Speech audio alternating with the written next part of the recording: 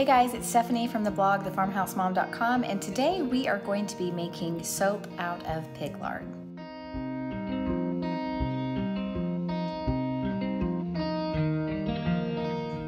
So if you've seen my beef tallow rendering video, you may have remembered that I had some um, pig lard that we rendered down and some of it was really white and really nice for, you know, biscuits and pie crust.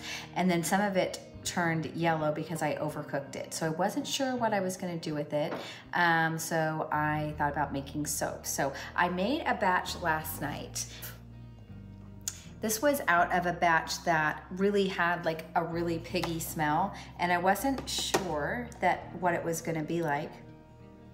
But it is incredible that, that when you're mixing it with the lye, there was absolutely no trace. The saponification just completely eliminated all of the all of the fragrance, any of that smell that I didn't like. And I was really pleased that we were able to um, use that pig lard that you know, I thought maybe it was ruined. So anyway, I'm gonna set this aside and I'm gonna go ahead and show you the tools that I used and we're gonna make another batch today. So um, this is what I have. I'm gonna just scoot you back here. I ordered this 42 ounce um, mold on Amazon. I think it was around $10. And then I also ordered this lye. Two pounds of lye was $13.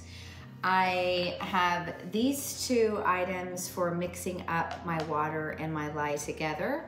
And then um, I, think I'm gonna try a little coloring today. So I've got some turmeric that I've probably had in my cupboard since like 1999. So it's probably um, has not ret retained any properties or freshness to use as a spice. So I'm gonna use some um, turmeric, I guess I always say turmeric, I don't know why. But I'm gonna use some turmeric um, to color it. So depending on the color that it turns out, I'm either gonna use some orange essential oils or some lemon essential oils to kind of um, make it have a nice scent. And then um, I just had my stick blender and I use that to um, emulsify everything.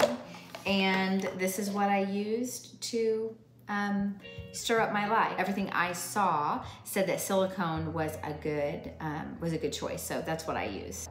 So the calculator that I used was the sage.com and they have a really cool lye calculator. I made a half batch yesterday. Those are just some small sample bars and I'm gonna go ahead and resize my recipe. Going to use ounces for my measurement. So I'm gonna melt this first um, to weigh it because I already put it in the pot without thinking.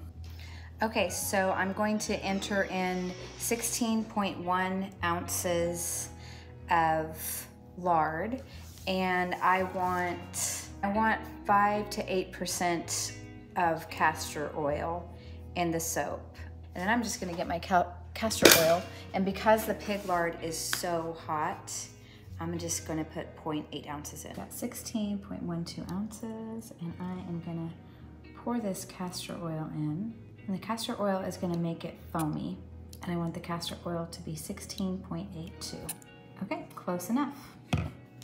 Okay, so we have our castor oil and I'm gonna go ahead and calculate the lye and it is telling me that I need four to six ounces of um, fluid ounces of liquid and I will need 2.2 ounces of lye. So I'm gonna put my liquid to the side, reset this, and then I'm gonna put 2.2 ounces of lye in my little plastic cup. Guys, when I first did this yesterday, I did it outside. I was so afraid um, of the lye. I was so afraid of it. so we've got six ounces of water. We've got 2.2 ounces of lye. So you never pour your water in your lye. You put your lye in your water. So here we go. I'm gonna take my silicone spoon and stir it up. Okay, I do not have a fancy temperature gauge at all. I have my husband's um, Good Cook barbecue. When I put the lye water in the fat, I want them both to be about 120 degrees, 100 to 120, and then I want them to be in between 10 degrees of each other. All right, so that's up to 160. But I found that the lye cools a lot quicker than the oils do. So if I need to heat the oils up, I can. And the oil is about 150. Okay, so both the temperature of the oil and the lye water solution are both um, about 110 degrees. So I'm gonna plug in my stick blender. All right, I'm trying to have my um, essential oils and my turmeric, turmeric on hand. So this happened like really quickly. I was really surprised at how quickly that it emulsifies. I was getting nervous here.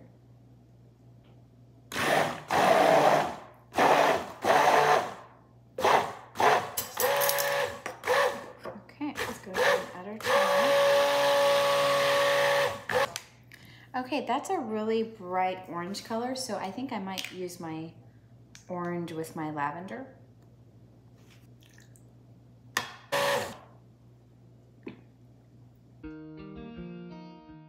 So it definitely seems a little soupier than the one I made last night. But we're still gonna go ahead and pour in our mold. Oh, okay, so I just poured some in the mold and it was like a big chunk. So I think it's gonna be okay.